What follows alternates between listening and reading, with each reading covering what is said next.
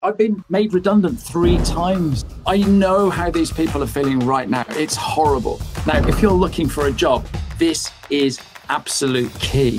70% of people are looking at your profile on their mobile phone. Now, this is what most people end up just putting their job title, but it's more than that.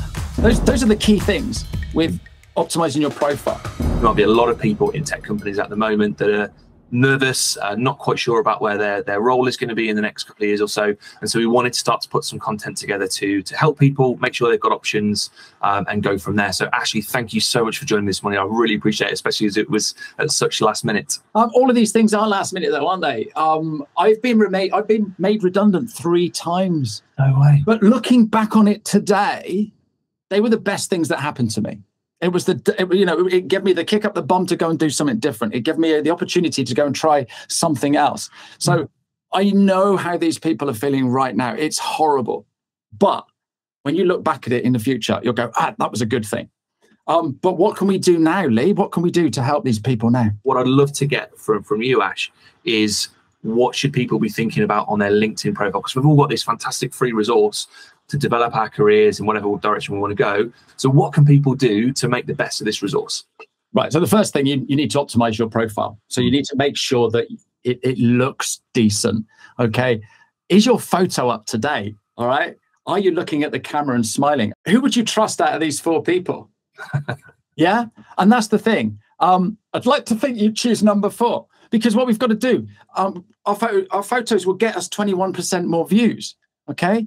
So smile, be open, make sure you're filling that screen. Okay. And if you put a color behind you, you pop out of the screen. People turn around to me and they say, Ash, you're all over LinkedIn. I don't think I am. I think people recognize my brand. Yeah. So that is absolutely key. What I'll do is I'll give you all of the, the links, um, Leigh, because I've got a, a video on YouTube, how to boss your photo. Great. So so that that's that's the, the the, thing that you need to do. Um, the other thing you've got to remember is don't have the photo next to your favorite guitar because no one can see you. You're about that size, my little knit fingernail on my mobile phone. So yeah. I ain't gonna see you. So fill that screen screen up. Don't be don't be worried about it. So the next thing you need to do is have a decent banner. 70% of people are looking at your profile on their mobile phone. And that is the banner is literally the size of your finger there. It's six and a half by one and a half centimeters. So don't make it fancy pantsy with lots of graphics and stuff like that. It needs to be so that I can see it. All right. If you hold your phone up, can you actually read it? And you can actually read what I do on my banner. When you're creating your banner, make sure you use a big font so that I can read it on my mobile device. Yeah. Help me do, help me see what you do. All right. Tell me how you can help me. All right. If you're looking for work, then there's nothing wrong with having that on there. But if you're an expert in this or an expert in that, that is that is crucial. Make sure that you don't put anything in those two circles. So the green one is on the desktop and the yellow one is on the mobile phone because it it cuts it off. It just looks schoolboy error. And don't worry about logos or contact details because, again, I'm not going to be able to read it. So all of the contact details are going to be somewhere else. Now, again, on my YouTube channel, there is a video on how to do your banner. And I'll give you all the links so that people can go and go through all of these. So it sounds like just mobile first. As with most marketing, right? You've got to think about the audience and how they're going to see things. It's a, it seems like a massive thing. Absolutely. So the next bit uh, that is important is your headline. Now, this is what most people end up just putting their job title. Okay. But it, it's more than that. It's more than that. I'm just talking to a guy this morning and we're talking about him becoming a unicorn. Okay. And, and this is the thing you've, you've got to be a little bit different. So I'm the 15 minute guy. When I go and meet people now, they go, Oh, that's really funny to meet you, but we've only got 15 minutes. or, or do you really last 15 minutes? It's just so funny. But people click on my profile because they they, they see that 15 minute guy and they go, oh, that's interesting. And they click on it. It's curiosity. Yep. Yeah. If I called myself owner at Full Cup Coaching, what does that mean? Mm. All right. If you Google Full Cup, all right, you're going to come up with bras and, and lingerie. right? So I don't do that. Okay. If I put business coach and LinkedIn trainer on my um, headline, who's going to hit it? Nobody. We don't want a coach or a LinkedIn trainer. But because I put 15 minute guy, people are going, oh, wow, that's different. So, so yeah, put something in there that makes you stand out, makes you a little bit different, makes you a little bit curious. Those, those are the key things with optimizing your profile. Your about section wants to speak to other people. Okay. Um, so, what sort of things do you do? So, on my profile, so if you go and have a look at my profile, you'll get an idea of what to do and how to set it up. But if you're looking for a role, start putting some things that make you stand out. Okay. All of this stuff of having demonstrable ability of hitting targets and stuff like that, nobody's interested. Yeah. Be a little bit different. And you've got 2,600 characters in there. So, bulk it all out and put a lot of stuff in there that's that's helpful to people. Put some fun stuff in. Yeah. So go and have a look at my profile and that'll give you some ideas of on what, what to do. I've even got steps in there. So step one, step two, step three. It just makes a lot of sense. And the next thing you need to do is your CV part of your um, profile. Now, if you're looking for a job, this is absolute key. Now, mine is optimized for helping people with their LinkedIn. So, mm-hmm. what it's done is taken some of the skills that I've had at QuickBooks, right?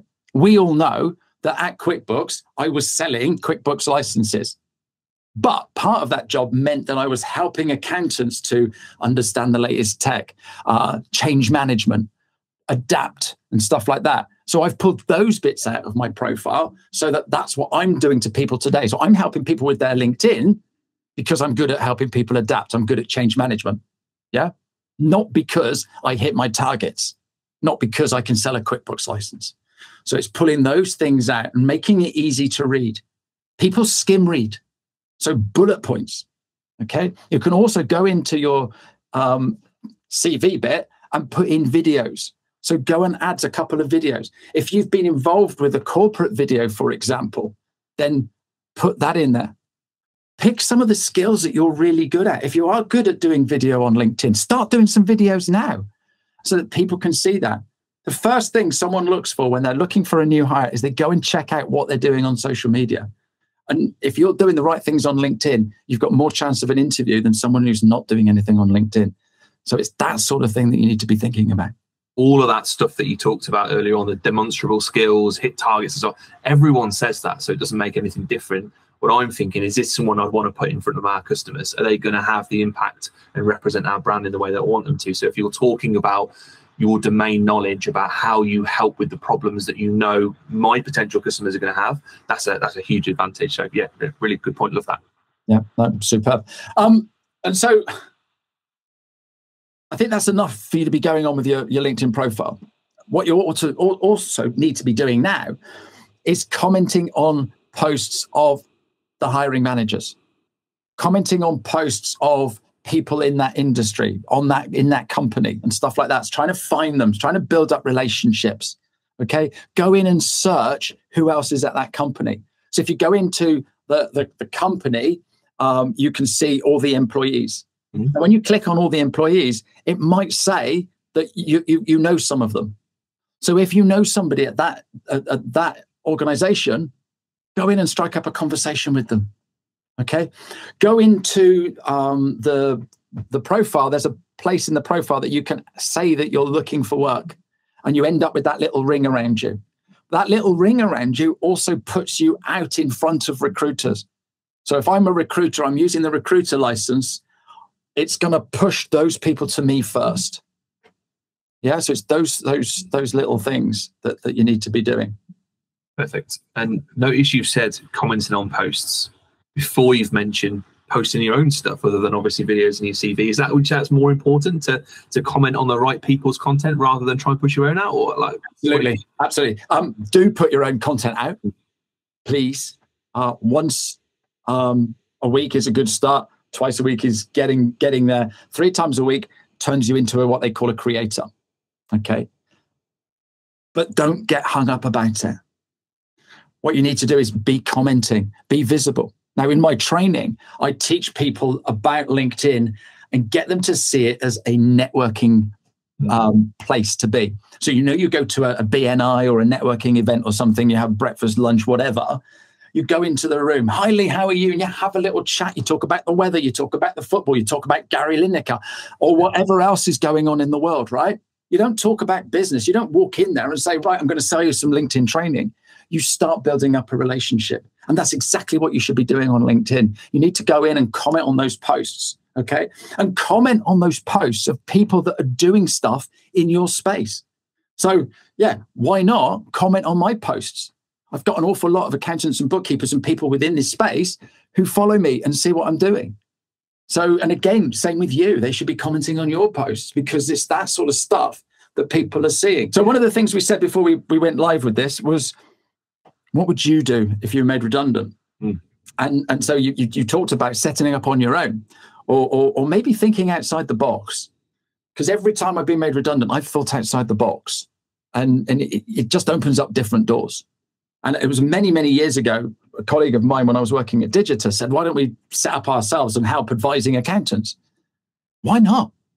Why not? If you've been working in a software provider for, for, for a, a number of years, you know what it's like to be an accountant. You know the struggles that they're having. So you could actually go and advise accountants things what they could, you could help them with their tech stack. You could help them with, you know, change management. There's lots of different things. You might be good at LinkedIn why don't you develop that a little bit further and start being a LinkedIn specialist for accountants? Mm. Yeah, there's there's enough. There's 900 million people on LinkedIn. They all need a hand. Yeah, so there's lots of different things that you could do. The other thing that you could do is go and work at an accountancy practice as a salesperson because they don't know how to sell. They don't ha- they don't have the proactive gene that that you, you've got if you're a salesperson. So there's there there are loads of opportunities out there, um, and if I can help, then then please get in touch. Find all my free videos, free resources, and stuff like that. I've got a free challenge um, that if you go in, it tells you what to do every single day. So it gives you some habits. And what, what happens is, is you will get a video every single day of me bouncing on the screen, doing all this sort of stuff, but every day for five days. Okay, it's all automated, so it doesn't doesn't cost me or, or, or, to do anything. It really doesn't matter. And if you want to sign up again, you can follow it. The, you know, have it the next week. But if you do these these set things every single day, it just gets you into a habit and gets you doing stuff on LinkedIn. I've built my whole business uh, from what I'm doing on LinkedIn. I'm speaking at Accountex this year, all because of what I'm doing on LinkedIn. So it, it is an amazing place. It's just using it correctly. So the other thing that you need to do is sort out your contact details. There's so many people I go in and have a look at their contact details and they're not up to date or it's got um, johnnyboy at gmail.com or whatever. Okay, so make sure all of that is up to date. And the other thing is, is if you've if you've got um, your company email address in there and you you forget your password, it's going to go back to the company. You might not have that email anymore. So make sure you change that contact details to an email address that you've got right now. Okay. So that is important. But put in You've got three websites in there. So put in a Calendly link so people can book some time with you. And, and the top tip there is make it a 15 minute meeting because then people don't feel that they've got to spend a load, load of time with you. So, so actually do that. That's another thing. You might want to put a video in there. Put your birthday in there because people will wish you happy birthday on your, on your birthday. That's a great tip. Um, but make sure all of the information is in there. There's loads and loads of fields. Make sure you filled them up properly. Perfect. That's fantastic. Wonderful advice there, Ashley. Thank you so much for your time. Really appreciate you uh, you spending time with us today. I think there's absolute gold us there for people to get on with. So thanks a lot, mate. No worries at all. Hey, you take care.